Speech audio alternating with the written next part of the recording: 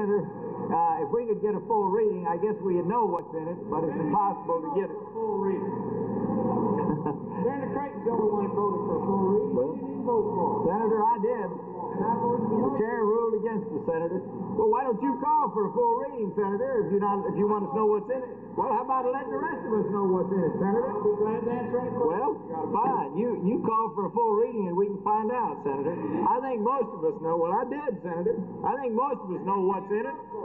It's going to certainly go a long way to increase the cost of insurance in this state. It's not only going to do that, it's going to be a great blow to the industrial development in this state because it makes it so much easier to file damage suits, uh, whether cause is justified or not, and it certainly increases the number of awards, uh, the potential at least for awards on damage claims by juries. Whether or not it has a 10 to 2 or the 9 to 3 jury verdict in there, I couldn't say. But I think this it will put many more lawsuits into the courthouse and change a major philosophy of insurance in this state and certainly is going to cost the motoring public like they've never paid before. I think that point is eminently clear and has been made clear uh, for the whole purpose of the comparative negligence. I don't know if the same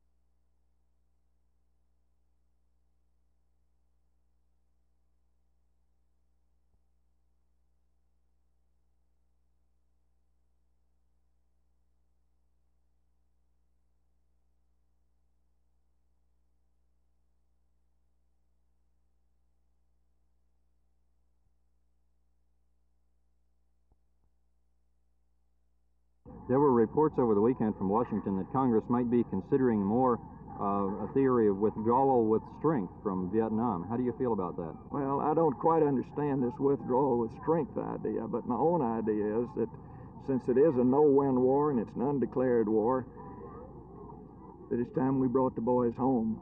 And my, my own attitude is uh, we've got a lot of things to do in this country to defend America. It's the number one thing in America is to defend America, and we ought to be increasing our defense budget and working for a stronger country.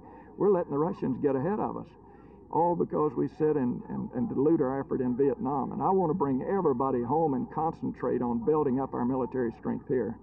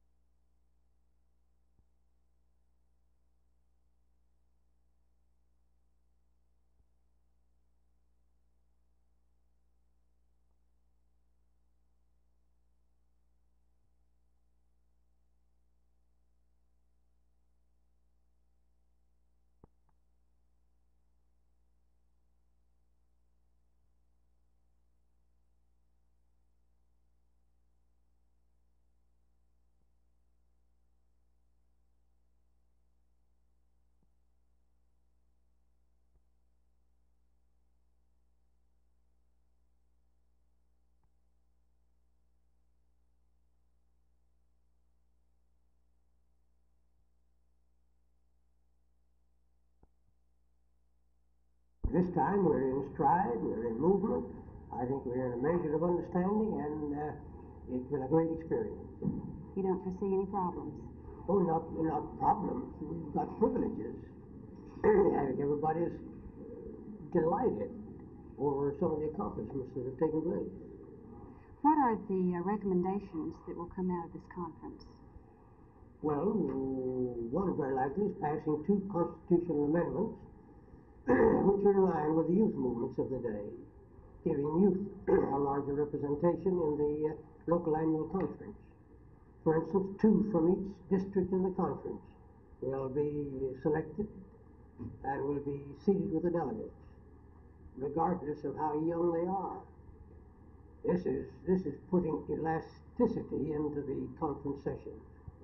We've had more calcium than elasticity.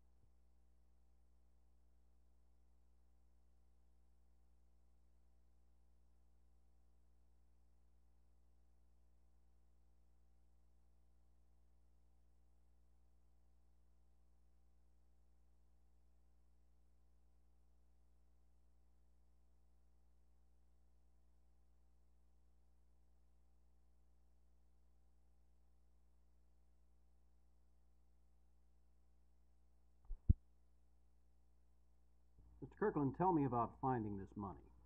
Well, I was digging with a drag line that, out there on uh, Walnut Hill Lane, and uh, I dug up one bucket full, dumped it out there, and I found a twenty dollar bills, a bunch of them. So I put them in my pocket, and I went on and get, kept digging. And after a while, I saw some more out there, and it was a whole bunch. Hundred dollar bills, a bunch of packages of them, and a bunch of packages of fifty dollar bills.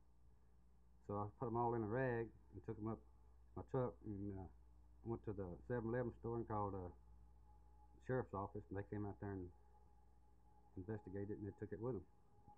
Did the sheriff's office ever count the money in your presence? No, they counted it in their car. In their car, you didn't witness them counting the money. No, sir, they didn't. How much money do you think there was? Well, I didn't know. I knew it was thousands of dollars.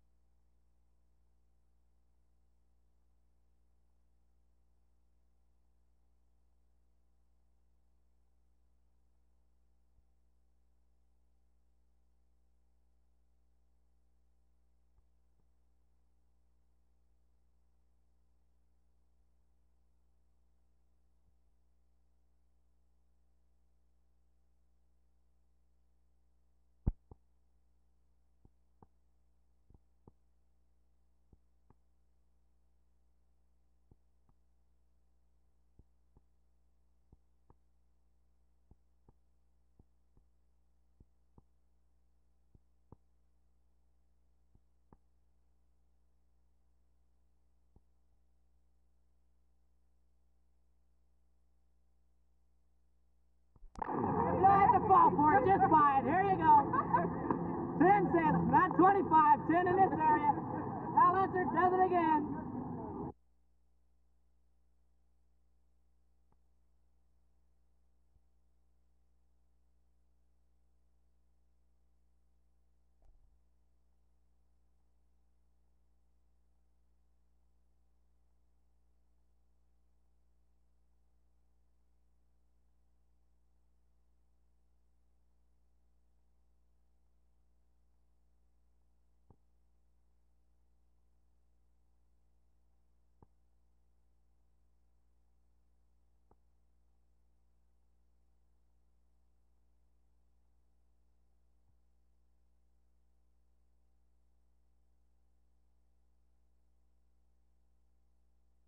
Would say to you that the very fact that we're receiving these nominations from all our colleagues in the Senate is ample proof that the members of the Senate are trying to help us in this effort to, to get this bill killed. They're backing us up. They're supporting us in this in this filibuster effort.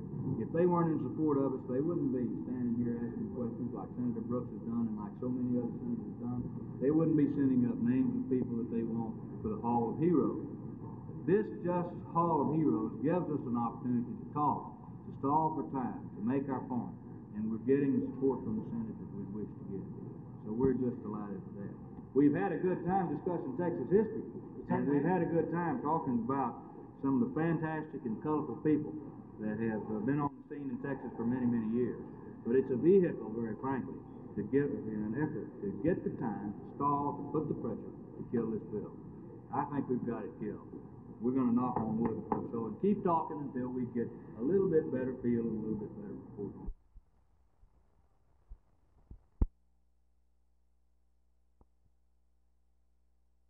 I don't go much for his program of making the cities, um, as it were, sort of states unto themselves with a direct relationship to the federal government. First of all, I think the states have to recognize a much closer alliance with the cities, and then in turn, they have their relationship with the federal government. Uh, but as far as making the, the cities, at this point in time, making the cities a real city state, so to, uh, so to speak, with a direct relationship to the federal government, I don't go much for it.